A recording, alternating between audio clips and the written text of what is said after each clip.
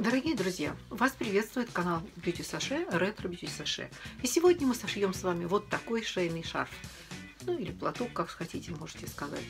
А, муж мой носит с удовольствием этот фирменный шарф. Он уже обрямкался. Значит, его можно носить так, просто. Дальше его можно заправить в рубашку. Весь и оставить только эту часть. Дальше его можно носить на рубашку и украсив вот здесь брошью. Мужчины тоже себя теперь украшают. Значит, брошь может быть любая. Если вы не хотите брошь и хотите, и костюм у вас вот такой сейчас, как сейчас модно на одной пуговице, то вы, значит, должны, э, можете сделать сюда перемычку из этого же материала. Вот что мы сейчас с вами сошьем. А, я сшила э, уже, сделала подарок внуку на день рождения – рубашку вот такую и вот такой сделала шарфик. Ну, это на 8 лет. А, они у меня двойнята. Одному сделала вдоль, полоску вдоль, другому поперек. Ну, не знаю, мне кажется, что будет симпатично. Теперь, если вы хотите сшить этот шарфик из шелка, например, шелк очень тонкий, но вот этот шарф, который я одевала сейчас, он шелковый, а, то тогда вы должны взять эту ткань, эту ткань и по левой стороне к ней приложить фрезелин. Тоже тонкий. Фрезелин это вот такая клеющаяся ткань. Вы, значит, вот этой блестящей стороной прикладываете к левой стороне, к левой стороне, раскладываете и проглаживаете. И тогда шелк у вас примет вот такую форму. Он будет хорошо держать форму и хорошо будет здесь вокруг шеи лежать. Если при условии, если вы будете делать это из шелка.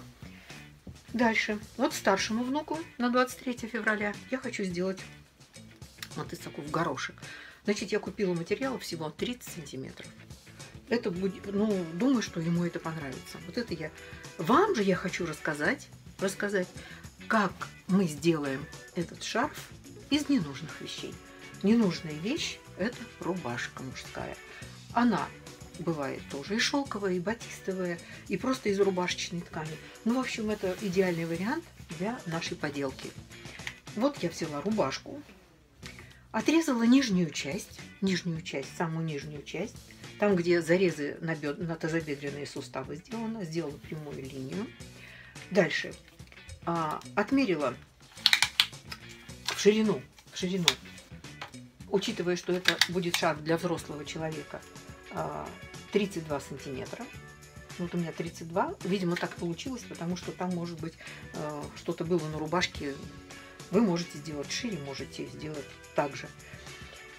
А, в длину мы пустим на всю длину рубашки. То есть передние полки две и спинка. Сколько у вас получится? Но если это большой, сильно взрослый мужчина, в смысле сильно емкий мужчина, желательно, конечно, чтобы это расстояние было там метр сорок, метр пятьдесят. А у меня получилось вот здесь метр тридцать два. Но для моего мужа это будет идеально, потому что он небольшой мужчина. Значит, мы отрезали от рубашки низ, отрезали, сложили правой правой стороне, правой правой стороне и сделали вот здесь зарез. Видите, зарез угловой. Значит, э, он может быть разным. На этом шарфике, в котором я была, он сделан вот так. Внуку я сделала полуовал. Здесь я собираюсь сделать вот так вот. Смотрите, видите? Что значит? Кладем правой с правой стороной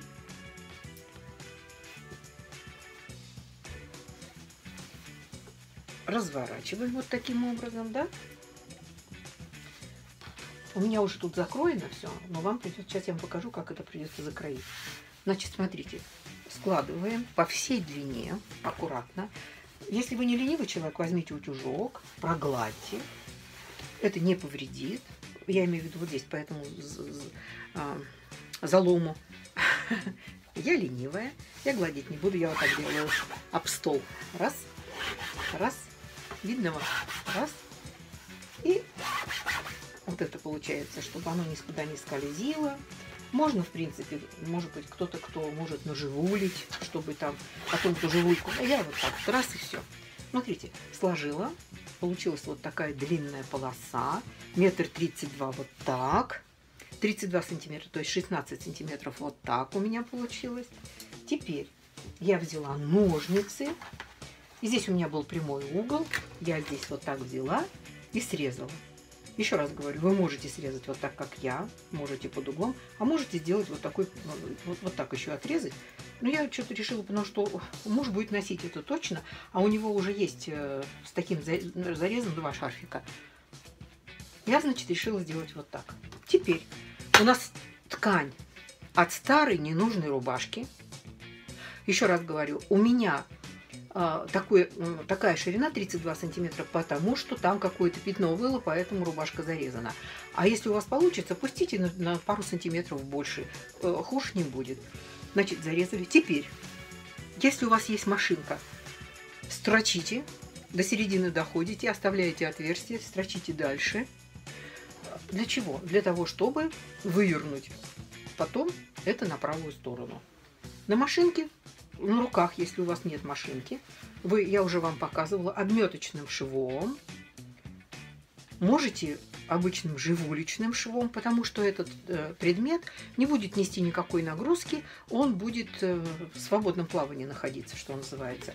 Прошьете до середины, дальше выверните, выверните через это маленькое отверстие, и у вас получится, у вас получится вот это другому уже я этому внуку сделала. Видите, какой у меня зарезик здесь вот такой вот. Значит, дальше. Все вывернули. Сложили аккуратненько. Прогладили. Уж теперь точно надо прогладить, потому что теперь уже вот эти все шовчики, чтобы они хорошо, э, в смысле, что уголочки, чтобы вытащили, вылезли, значит, может быть, вам придется ножницами, чем у вас ручечкой подтолкнуть, чтобы все было ровненько. Значит, дальше ровно посередине, ровно посередине. Середина у меня вот здесь. Мы должны сделать вот такие защипы. Зачем? Ну, затем, чтобы шарф не расползался, не лез, чтобы он хорошо лежал вокруг шеи. Вот раз одели, и он лежит вокруг шеи. Можно, в принципе, оставить прямо так. Но он будет при, скажем, э, движении, при этом он будет, мне кажется, мешать. Поэтому я решила сделать вот такие вот заломы. Как я делаю заломы? Если, например, 40 сантиметров размер шеи, 40 сантиметров, я сделаю вот эти заломы на расстоянии 35 сантиметров. 5 сантиметров я оставлю вот здесь, на этот бант. Понимаете меня? А если у вас 45 сантиметров э, у мужчины шея, значит, вы сделаете 40 сантиметров. Вот это вот э, швы вот эти 40 сантиметров. Как я это делаю? Смотрите. Вот она середина. Вот она середина. Кладу. Уже все у нас прошито, проглажено. И делаю вот так. Раз, Видно? Дальше вот так. Два. Да, получается вот такая складочка. Смотрите, с этой стороны получается складка, а с этой стороны получается вот такая складка. Видите? Дальше. Вы это... Я и не проживуливаю. Вы можете это проживулить. И прошить, значит, по центру раз обязательно. И если у вас, например, 40 сантиметров, значит 20 сантиметров отступаем, прошиваем еще раз, еще раз. Если материал вот такой плотный, как на этой рубашке, то я прошью еще и посерединке. То есть вот здесь у меня середина, здесь 20 сантиметров, я еще раз. Получается 5 раз я прошью вот, эту вот, вот этот залом. И ну вот,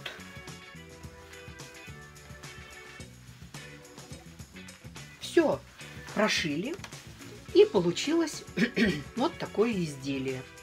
Смотрите, а, ваш мужчина будет носить это как захочет. Может этой стороной одевать, как я, да, может этой стороной. Это несущественно, несущественно. Одевает, завязывает и таким образом украшает себя. А вы радуете его к любому празднику. 23 февраля, к Дню Святого Валентина, к дню рождения и к Новому году, к любому празднику. Он будет счастлив и доволен. Мой муж очень доволен. У него я не знаю, сколько штук, наверное, уже штук пять таких шарфиков, и он с удовольствием носит. И самое главное, хочу сказать, раньше вообще шили рубашки с запасными воротничками. Почему? Потому что в рубашке что носится в основном? Рукав, рука, рукава и манжеты. Ну, а все остальная рубашка, она хорошо сохраняется. Сегодня ничего же не поменялось, если человек сильно потеет или грязный, или э, работа у него портится рубашка и манжеты. Значит, мы если одеваем на мужчину этот шарфик, мы сохраняем рубашку и рубашка служит дольше, мужчина выглядит оригинальнее и, и радостнее. Вот вам. Хочу, чтобы ваша старость была в радость. Украшайте своих дедушек, дедушек, дедушек, мужчин и мальчиков. А, это был, с вами был канал Beauty Саше, Ретро Beauty Саше. Подписывайтесь на наш канал и дружите с нами. Всего хорошего.